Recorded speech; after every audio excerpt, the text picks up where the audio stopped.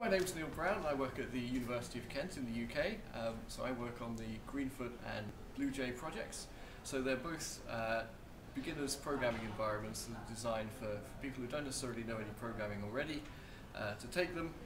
and sort of learn to program and for teachers to use them to, to teach programming. Um, so one thing that we've learned by sort of developing this software is that it's not enough just to develop the software. You can't just develop the software, throw it over the fence and, and hope that people will pick it up. You'll get a few sort of dedicated teachers or dedicated kids, um, but by itself the, the software is not sufficient.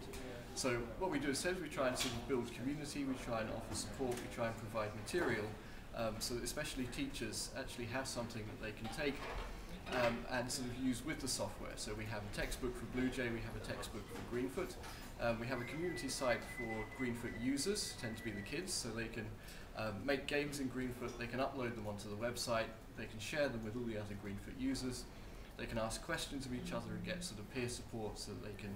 um, learn to program or, or get help when, when they get stuck, maybe if they're just doing it themselves in their bedroom, they've got sort of support there um, or if they're doing it in a classroom, it's something that they can do after school and actually um, sort of get interested and share with each other.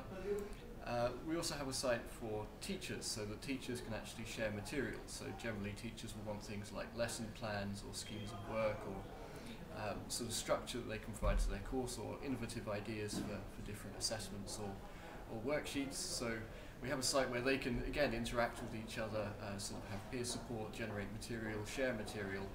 um, so they can actually support each other teaching with, with BlueJ and Greenfoot. So we hope to provide good support to the kids that are using it, good support to the, the teachers that are using it, and actually sort of form communities um, and support uh, all the users of our software, not just give them the software and, and sort of leave them to it, but actually